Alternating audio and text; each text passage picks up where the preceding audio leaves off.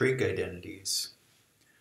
The learning goals for this video are to remember a few basic trig identities and to be able to derive other identities from these basic ones. So the first trig identities are not really identities, they're more definitions in my mind. Uh, and what I mean by that is I usually think in terms of doing calculus on the trig functions sine of theta and cosine of theta, but often you'll be given problems that involve the tangent, cosecant, secant, or cotangent.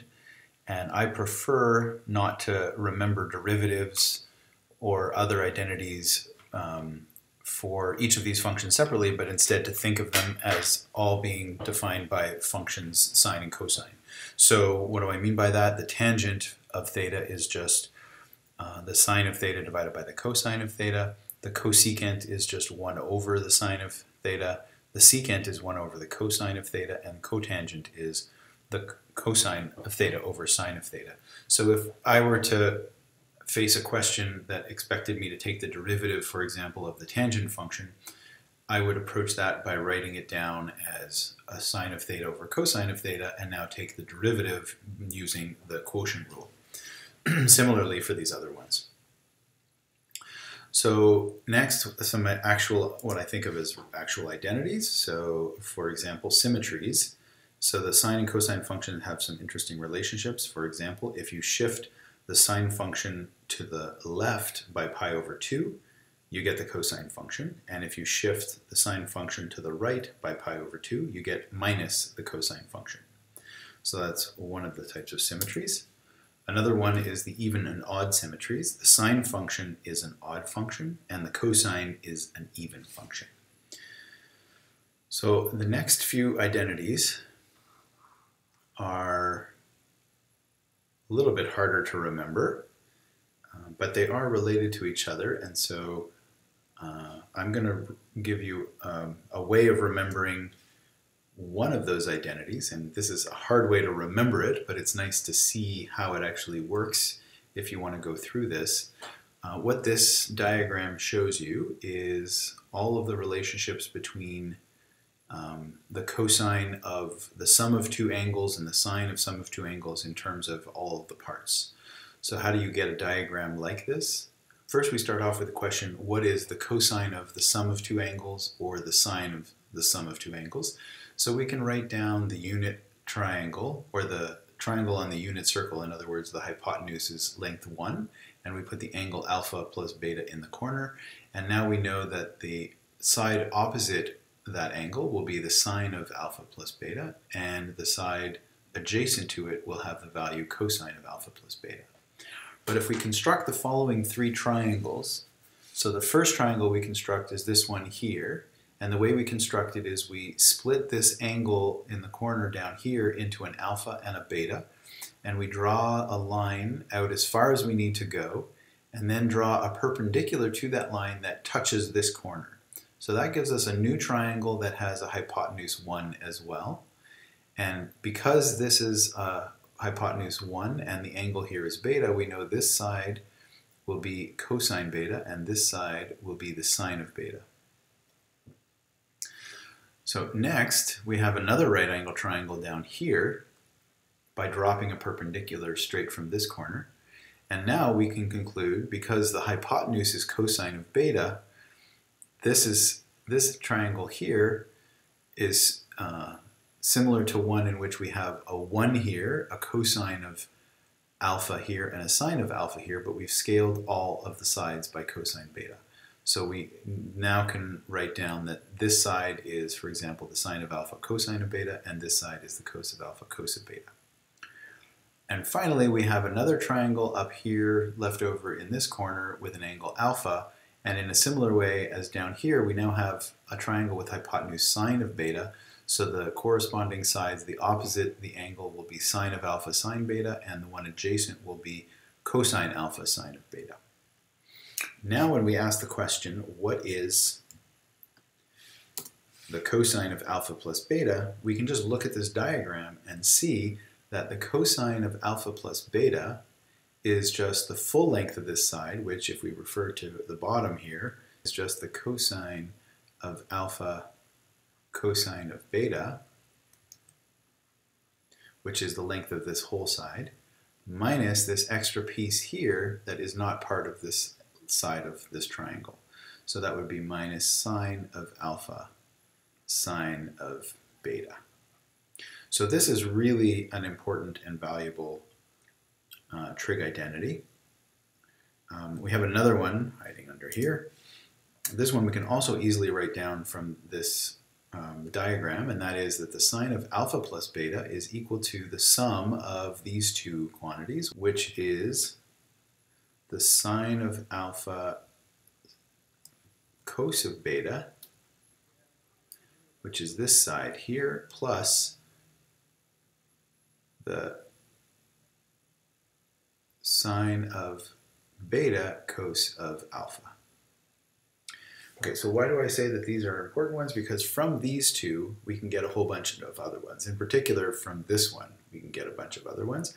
If we are interested in knowing the cosine of 2 times an angle,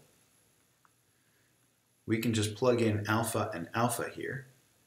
And that means that we get cosine squared alpha minus sine squared alpha and that gives us the cosine of twice an angle in terms of the cosine and sine of the angle.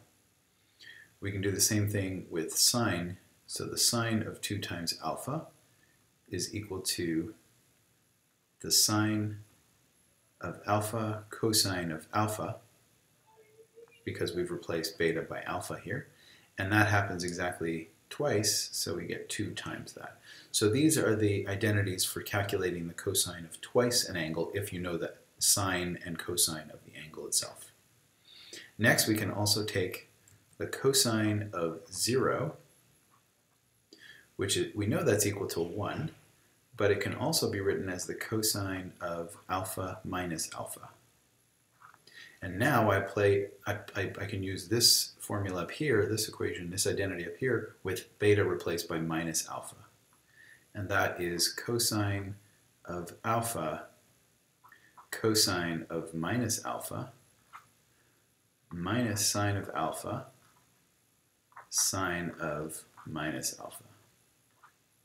Because the cosine function is even, this minus sign can be removed, and because the sine function is odd, this minus sign can come out front, canceling this one, and we're left with cosine alpha cosine alpha, which is cosine squared alpha, plus sine squared alpha. And this is also a disguised version of um, Pythagoras' theorem, which says that the square of one side plus the square of the other side is equal to the square of the hypotenuse. Now, once we have this identity, combine that with this one here, and we can write down the cosine of 2 alpha will be equal to the cosine squared of alpha minus, and now I can solve this one for sine of alpha, and I get 1 minus cosine squared alpha. And so altogether, this guy is equal to cosine, whoops, cosine squared alpha times 2, because I have one here and another one there with the minus and the minus, minus 1. Now we already have a formula for getting the cosine of a twice an angle in terms of the cosine and sine of the angle, but now if we solve this one for cosine squared alpha, we can actually go the other way. What I mean by that is we can get the identity cosine squared alpha is equal to 1 plus cosine 2 alpha divided by 2. And that's just solving this identity here for cosine squared alpha.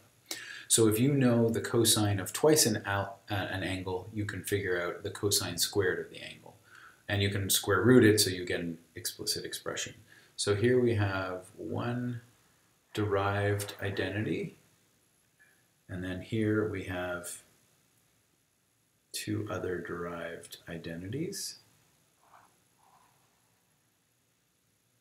that, and oh, there's also the very familiar one here, that all come from these two, in fact, really from the cosine one. So another set of identities can be derived from this one that we've already got. Let's switch this to theta plus cosine squared theta equal 1. So if we want to now express this in different terms, we can we can change its form to put it in terms of, say, tangent functions or secant functions.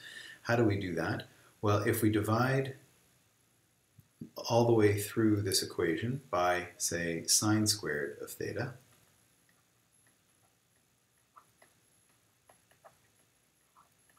then we get the identity 1 plus cotangent squared theta is equal to cosecant squared theta. And then if we instead divide through by cosine, so let's divide this by cosine squared theta all the way across. Now we can write down another one. This is the tangent squared theta plus 1, and that's equal to secant squared theta. So that gives us two new identities from one of these derived ones. And you'll notice that all of these come from the fact that cosine of alpha plus beta is given by this expression. So this is a convenient one to remember, and then if you have a bit of time, you can derive all of these as well in turn. Or you can memorize them all.